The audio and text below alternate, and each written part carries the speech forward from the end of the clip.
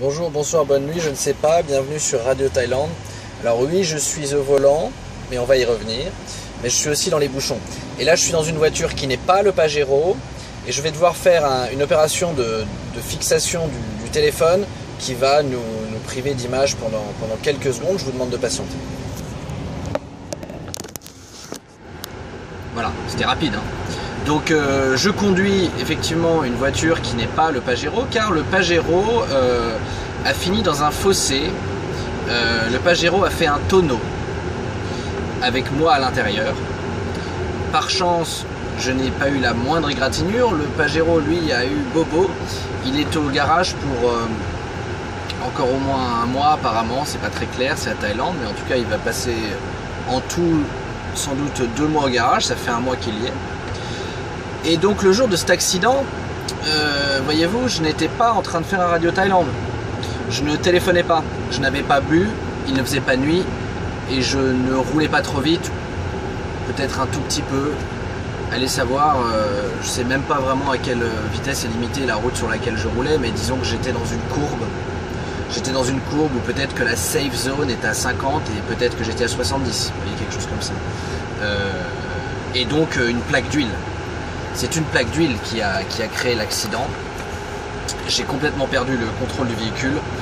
Euh, j'ai dérapé, j'ai tapé le terre-plein central, j'ai fait un tout droit dans le fossé, j'ai fait un tonneau. Mais donc la, vraie, donc euh, oui tout ça pour dire que quand je fais pas de radio Thaïlande, je me plante, alors autant faire des radios Thaïlande. Hein. Euh, et autre chose, pourquoi j'en faisais pas, c'est pas que c'était pas que la peur de faire peur à ma maman, qui d'ailleurs elle aussi s'est plantée sans faire de radio Thaïlande, n'est-ce pas maman euh, Une semaine après moi. Donc euh, c'est aussi qu'effectivement j'avais perdu cette petite. Euh, j'ai perdu ma, ma, ventouse qui permet d'accrocher le téléphone, j'en ai pas racheté, donc j'avais pas d'endroit où mettre le, téléphone tout simplement. Et là je conduis donc une autre voiture temporairement et pour le coup il y a une façon là de coincer le téléphone entre le volant et le tableau de bord qui est absolument exceptionnelle. On dirait que c'est fait exprès. Donc euh, remercier Ford pour euh, voilà, Ford EcoSport. Bon, c'est un peu une voiture de nana, mais ça tombe bien parce que euh, une fois que je récupère le Pajero, c'est ma femme qui conduira cette voiture. Donc tout va, tout va pour le mieux dans le meilleur des mondes. en tout cas, ici en Thaïlande. Hein, dans la petite ville de Louis Cousin. Tout va pas trop mal, et bon, il y a eu des, eu des changements. je vais pas parler de ma vie personnelle ici, mais effectivement, voilà, la, vie va plutôt bien ici je voulais parler euh, de la France. C'est pour ça que je prends la parole sur Radio Thaïlande avec un sujet qui est le sujet d'actualité. Un éventuel ticket Juppé Macron. Eh bien, je suis relativement emballé par cette idée. Hein, donc là, Macron vient d'annoncer la création de son mouvement. Raffarin a déjà dit qu'un partenariat Juppé-Macron n'était pas quelque chose d'impossible.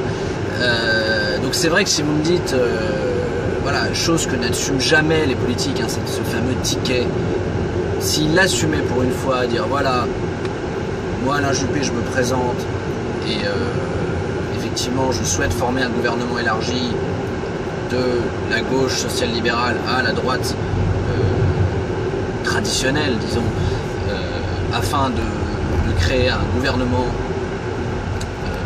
qu'on pourrait appeler du nom national pour faire face aux défis extrêmement importants auxquels notre pays est confronté aujourd'hui, que ce soit euh, au niveau euh, économique, sécuritaire, hein, et aussi monter des extrêmes, mais finalement la montée extrême n'est qu'une conséquence de, ces difficultés. Euh, et donc que Juppé dise si je suis élu, mon Premier ministre sera Emmanuel Macron, ça aurait de la gueule. Et alors là on serait content, enfin moi je serais content, Juppé, l'expérience, vision long terme, un peu ce côté euh, rassurant, assez calme. Euh, et puis Macron, voilà, la jeunesse, euh, l'énergie, la fougue. Donc ce serait une très belle équipe complémentaire, surtout dans la façon dont fonctionne la 5ème République, avec un président qui doit avoir la vision long terme, voilà l'international, tracer le cap, et un Premier ministre qui doit gérer le quotidien, et c'est comme le raconte François Fillon dans son livre, hein, c'est avant tout de l'opérationnel, de l'opérationnel à grande vitesse. Mais donc on voit bien Macron faire ça et, franchir une étape supplémentaire. Et puis en 2022, Macron prend la suite et puis tout va bien.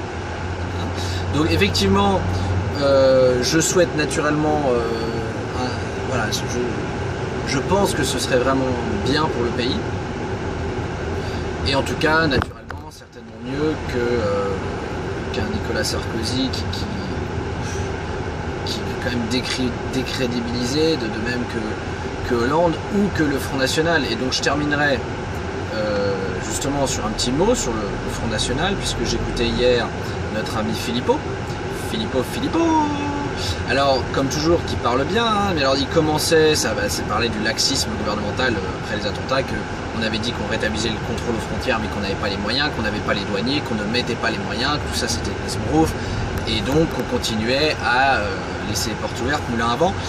Et, et ça, bon, euh, il n'a pas tort, sauf que naturellement, moi je suis de ceux qui, espèrent, même si c'est peut-être un peu idéaliste. Non, c'est vraiment les bouchons, là, je me permets de conduire sans les mains. Là, je suis, euh, je roule à 5 km/h. Ouais, moi je serais pour naturellement un contrôle aux frontières européennes, mais bon, c'est compliqué. Mais euh, le point que je voulais souligner, c'est la façon dont Philippot a lié de manière extrêmement directe l'immigration et le terrorisme, parce que dans son discours, finalement, ce qu'il en ressortait, c'est ça fait 40 ans qu'on accueille des immigrés, qu'on est une passoire, qu'on laisse se créer des zones de non-droit dans la République, et le raccourci qu'il fait. Alors là, j'ai pas la vidéo, je peux pas redécortiquer, etc. Mais je suis à peu près sûr, je suis sûr que c'était ça qu'il faisait, c'est le raccourci de dire, c'est ce laxisme, c'est l'immigration, face à l'immigration, et c'est ce, l'immigration euh, des 30 à 40 dernières années qui a créé le terrorisme dans les banlieues. En gros, immigration égale terrorisme. Alors là, je dois m'inscrire un faux et je dois expliquer pourquoi. Oui, l'immigration a créé, on a créé des ghettos, on a créé des quartiers, on a créé des quartiers où ça va pas, où c'est des zones de non-droit, où il y a de l'insécurité, où les flics peuvent pas aller, où ça trafique de la drogue, où ça se prend pour des, rappeurs, et où aujourd'hui, certains euh, jeunes rejoignent des mouvements terroristes. Mais ces mouvements terroristes, qui en fait embrigadent ces jeunes en manque de repères, parce que c'est cela qui a créé l'immigration et l'échec d'intégration, ce sont des jeunes en manque de repères, des jeunes pas intégrés, des jeunes qui sont des proies faciles pour les groupes terroristes. Mais les groupes terroristes structurés, organisés, financés trop souvent la question du, financement. Ils sont pas nés euh, à trappe. Hein. Non, ils sont nés euh, dans le dans le Golfe, là, dans les pays en stand aussi. Euh, suite à toutes les guerres occidentales menées pour le pétrole. voilà, que ce soit, ça a commencé en, Afghanistan. Je suis pas un expert de la géopolitique de cette zone, mais ça, tout le monde l'aura compris. Sur les, ça a commencé avec la guerre froide les États-Unis qui armaient effectivement des, des gars dans les pays en stand contre, contre la Russie ou l'inverse, et puis après ça a été euh, la guerre d'Irak, et puis la deuxième guerre d'Irak, et puis euh, les interventions en Libye, en Syrie, et c'est tout le Moyen-Orient qui est à feu et à sang de la faute ou pas de l'Occident, en tout cas faute partagée, mais c'est clairement aujourd'hui une guerre je pense qu'on peut difficilement dire autrement, une guerre, euh, pour moi aujourd'hui, il y a une guerre mondiale. la Russie est impliquée, les États-Unis sont impliqués, la Turquie, euh, bon, ça, pète sur le sol français à un moment donné, à part qu'on ne vous demande pas d'y aller, hein, il y a quand même, à part qu'on ne vous demande pas de, vous mobiliser, d'aller à la guerre, bon, on est quand même pas loin, pour moi, à part qu'on n'a pas eu des déclarations de guerre officielles, mais bon, on n'est pas loin quand même d'une guerre mondiale. Et donc le terrorisme, il vient de là. Et donc dire l'immigration c'est le terrorisme, c'est un discours, euh, c'est un discours erroné, c'est faux et c'est dangereux. Voilà, c'est dangereux parce que la prochaine étape, posez-vous bien la question si vous votez Front National, la prochaine étape c'est plus de violence, plus de conflits. C'est la guerre. Le Front National, un jour, ils vous demanderont de prendre les armes pour aller défendre votre patrie. Alors il faut vous poser la question, est-ce que c'est ce que vous voulez? Je vais refaire 3 secondes de coupure. Bonjour, bonsoir, à bientôt.